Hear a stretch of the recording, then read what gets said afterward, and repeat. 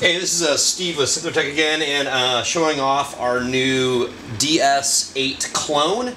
It's got a lot of really cool features on here. Uh, this great box, it's got a sensitivity setting, a decay, a sweep, a VCO, a rate, an LFO, and we've got a volume knob here. Um, really cool, we got a CV in and a trigger in. What I've made for this trigger, you can use piezo triggers to kind of like put it actually into the case, so the case itself is actually uh, what you hit to make the drum synth work. But I've hooked up just an old like uh, rock band drum pad, and eventually it's the same thing. What's nice about this, having it being able to plug in here, is that we can also trigger it using a drum machine or a sequencer, uh, whatever. So there's a lot of really cool opportunities. I'm just gonna show you some different sounds and kind of show you what it works, how it works like. It's pretty cool. So um, basically, adjust the sensitivity. Turn it off there. You know, sensitivity. Oh, the decay will affect how long that is. It's actually um, can be pretty long.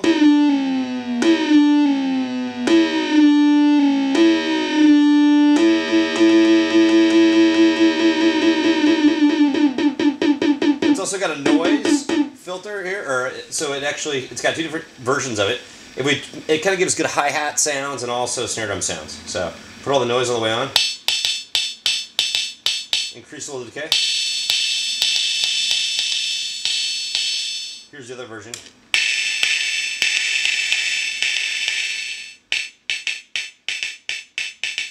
Turn the noise back off, and it gets us back into the synth part of it. We're sounding like different sounds. Some real sub bass kind of sounds.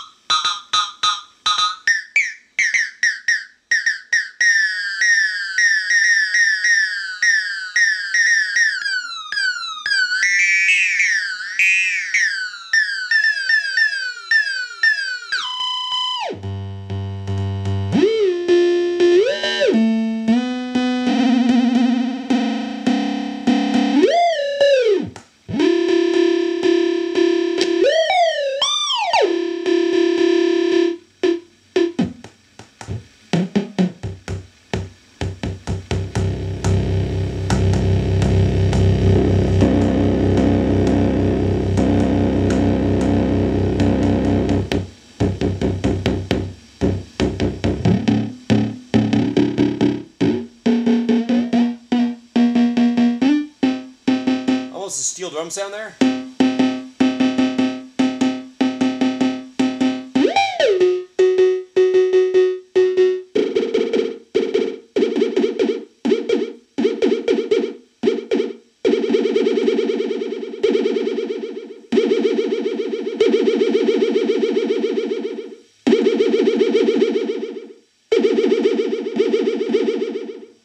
It's pretty cool. Um, I'm going to show you some CV options here in a second, but that's just kind of the basic rundown here of uh, this DS8 drum cl- clone that used to be from Coron, but we got our own design on it. Um, pretty rad. Uh, we got PC boards and kits available now, so check it out. Thanks.